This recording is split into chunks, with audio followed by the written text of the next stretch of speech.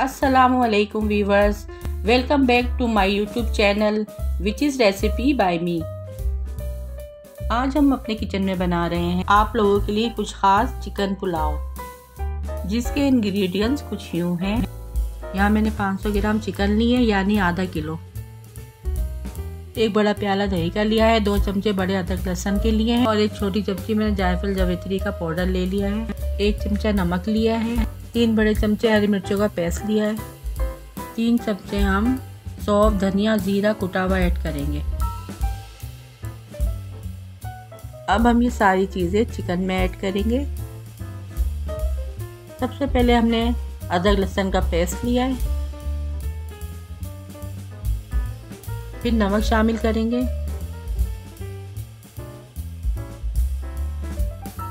सौंफ, धनिया और ज़ीरे का पाउडर ऐड करेंगे।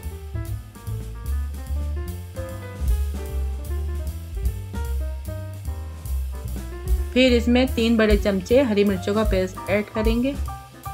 इसके बाद हम दही ऐड करेंगे।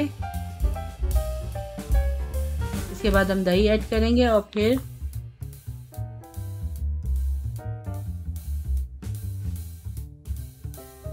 आधी चमची जायफल जवेत्री का पाउडर ऐड करेंगे। और फिर इसको अच्छी तरह से मिक्स कर लेंगे। आप हाथ की मदद से भी मिक्स कर सकते हैं। यहाँ पर हम ले रहे हैं एक पैकेट शाद पुलाव मसाला। इसके बाद एक पैकेट शान पुलाव मसाला शामिल करेंगे।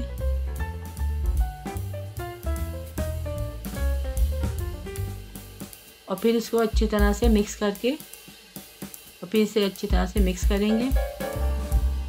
आप हाथ की मदद से भी इसको मिक्स कर सकते हैं। मिक्स करने के बाद इसको एक घंटे के लिए फ्रिज में मैरिनेट करके रख देंगे।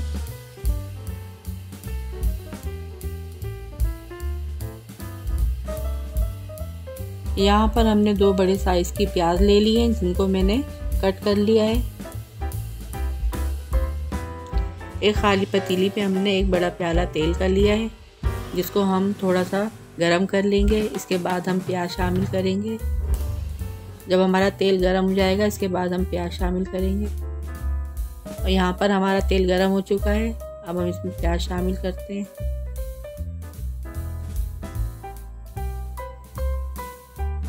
और इसको अच्छी तरह से चला लेंगे। लाइट ब्राउन होने तक इसको फ्राई करेंगे।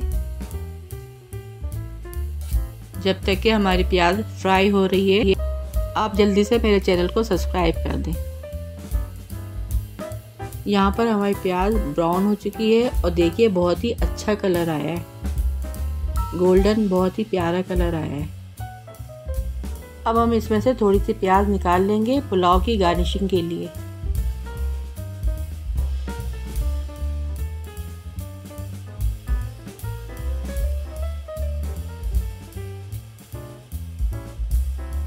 अब इसी प्याज में हम अपना मैरिनेट किया हुआ चिकन ऐड करेंगे, जो हमने एक घंटे के लिए फ्रिज में रखा था।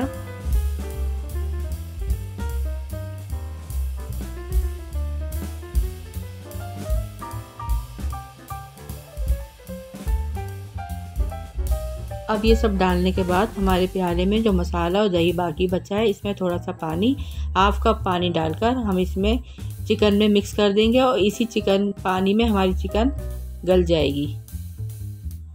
इसके अलावा हमें पानी ऐड नहीं करना है, क्योंकि इसी पानी में हमारी चिकन अच्छे से गल जाएगी।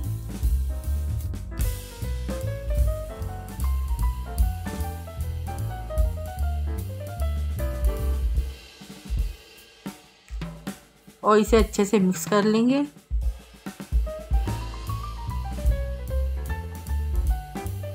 यहाँ पे हमने कुछ गरम मसाले ले लिए हैं, जिसमें एक चमचा सफ़ेद ज़ीरा है, एक छोटा टुकड़ा दालचीनी का है, दो बड़ी इलायची ले ली हैं, पाँच अदद हमने लौंग ले ली है, सात से आठ अदद काली मिर्चें ले ली हैं छः से सात सफ़ेद इलायची ली है और एक तेज़ पत्ता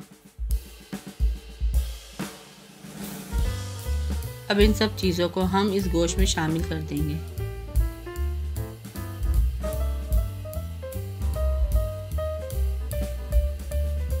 और यहाँ पे हमने छः से सात हरी मिर्चें ले ली हैं थोड़ा सा कड़ी पत्ता।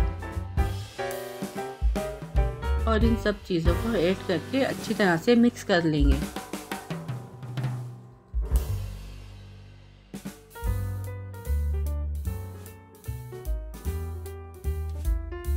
मसाला भुनने के बाद हम इसमें दो गिलास पानी ऐड कर देंगे।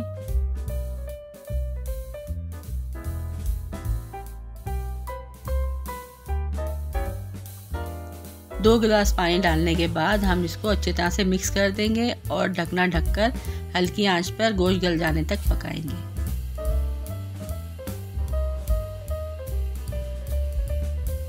और यहाँ पे हमने जुगनू चावल लिए हैं, बासमती, ये बहुत अच्छे चावल हैं, आधा किलो चावल लिए हैं, यानी 500 ग्राम। आधा घंटा भिगोने के बाद हमने चावलों को अच्छे तरह से उबाल लिया है और पानी से निकाल के अलग कर दिया है। इसके बाद हमने इसको इसी गोश्त में चावलों को मिक्स कर दिया है।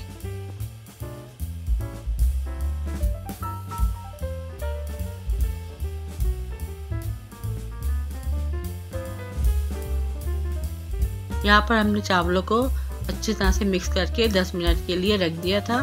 दरमियानी आँच पर।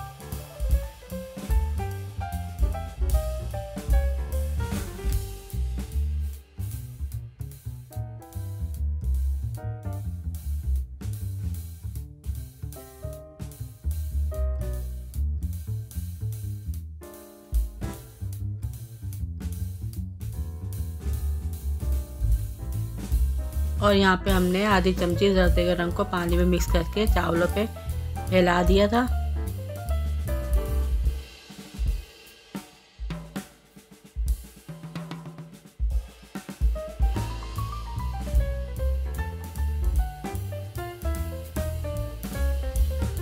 यहाँ पे तीन चमचे हमने केवड़ा शामिल किया है।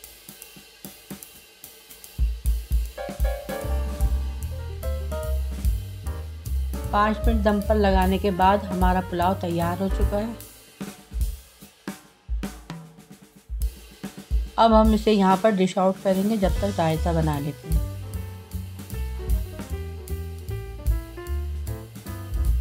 यहाँ पर एक पाव दही ले लिया है। आधी चमची नमक ऐड करेंगे। अपने टेस्ट के मुताबिक।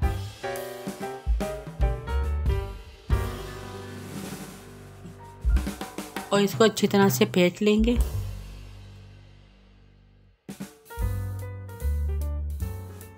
और यहाँ पे हम तीन चमचे हरे धनिए पुदीने, हरी मिर्चों की चटनी ऐड करेंगे।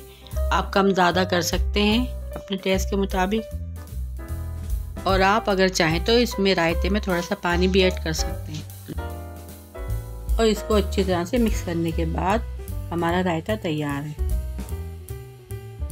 और यहाँ पर हमने अपना मज़ेदार चिकन पुलाव डिश आउट कर लिया है विद रायता सैलड और कोल्ड ड्रिंक के साथ। ये पुलाव बहुत यम्मी और मज़ेदार बना है। आप इस रेसिपी को ज़रूर ट्राई कीजिएगा। और ये रहा हमारा फाइनल लुक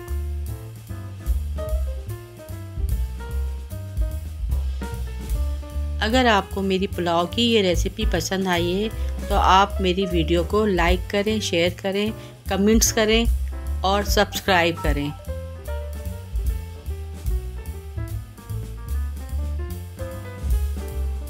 इस मज़ेदार रेसिपी के साथ मुझे दीजिए इजाज़त। अपना बहुत सारा ख्याल रखिएगा। दुआओं में याद रखिएगा। अब हम मिलेंगे आपको किसी अच्छी रेसिपी के साथ। Till then, love is.